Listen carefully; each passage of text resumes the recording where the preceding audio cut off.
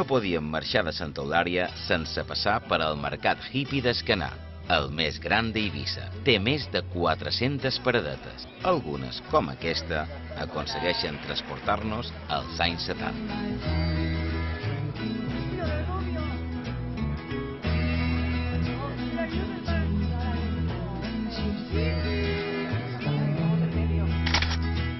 En aquest mercat hi poden trobar peces meravelloses, però més que els objectes, criden l'atenció les persones, els venedors.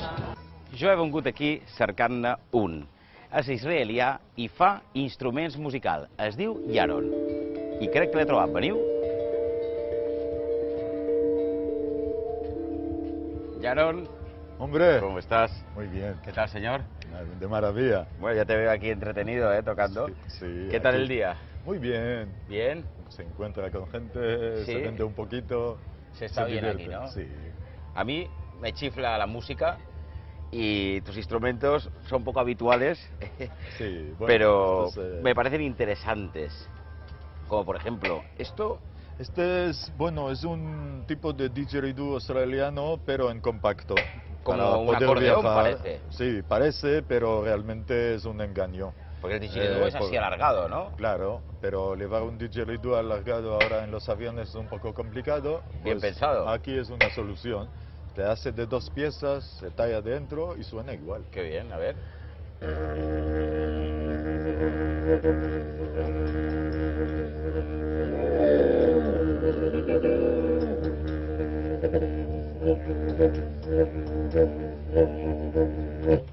Se usa una técnica de respiración circular. A ver, esto de aquí... Este eh, participó, la, la fabricación la hace en Barcelona. Sí. y ¿Cómo se llama un, este eh, instrumento? Se ha cambiado varias veces de nombre. Eh, eh, al, al principio se llamaba Bután porque estaba hecho de bombonas de butano, de reciclaje. Ah, ¿sí? se Vale. corta arriba y abajo, se suelda y después se cortan las lengüetas.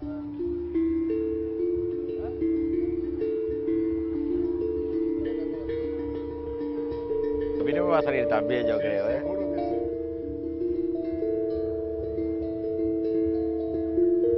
¿Qué te pones? Mucha armonía, ¿eh? En Todo, tu- todo, en tu todos los instrumentos casi que fabrico, hay algunos más complicados, pero ya lo verás si pasa después en casa. Ah, te, te iba a decir, ¿tienes cuántos instrumentos tienes? Bueno, lo que he registrado yo, diferentes instrumentos, unos 280 y pico. ¿Me los Sí. enseñarías? Eh, si quieres. Sí quiero. I com no de voler, tinc moltíssima curiositat per veure la col·lecció que ha fet aquest home i per conèixer també la seva companya, Nanur, l'amor de la seva vida.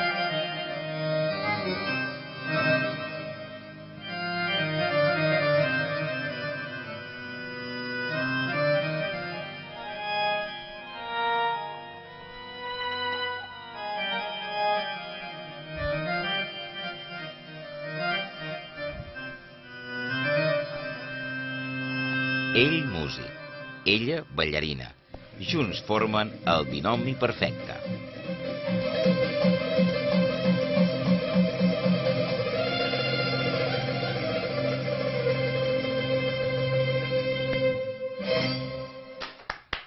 Muy bien. Gracias, hola chicos. ¿Qué tal? Encantado. Encantada. Qué lujo verte bailar en tu propia casa. Gracias, sí, me habéis pillado de sorpresa. Fantástico. Qué bien.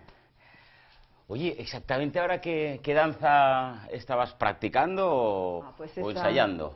Esa es una de mis favoritas, es ¿Sí? el Beledi egipcio. Oye, ¿y Nur Banu de dónde viene? ¿Qué, qué, qué significa? Bueno, Nur quiere decir luz. Sí. Y esto decimos que es mi nombre artístico, y no solamente mi nombre artístico, yo lo siento mucho como mi nombre espiritual. En el sentido que tengo siempre presente que tenemos que hacer algo para el bien, para la luz.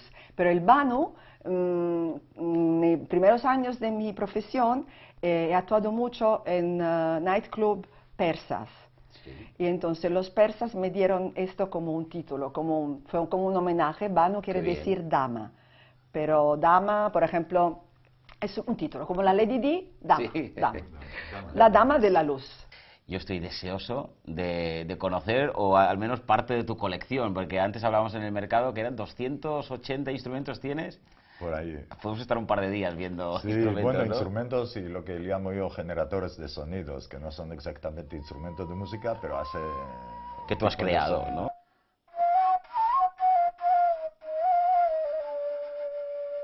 Es árabe. Es una flauta árabe y en Turquía se usa también eh, los sufis, especialmente para un Mm. tipo de, de la danza giratoria y meditación. Oye, ¿y este tan extraño? Este, este es un instrumento inventado en los años 50, creo, por un tal Waters, eh, se le llama Waterphone. Eh, ¿Va con agua? Sí, va con agua dentro que tiene que modular el sonido. Se usaba normalmente para películas de terror. Ahora lo oye el sonido y- y- y lo entiende por qué.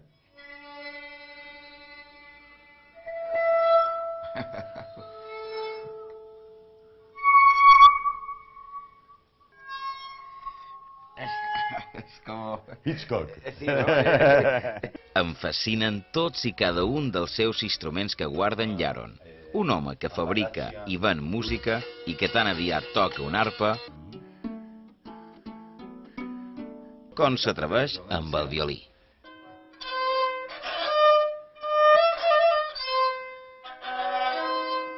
Viendo tanto instrumento, la mayoría los fabricas tú mismo.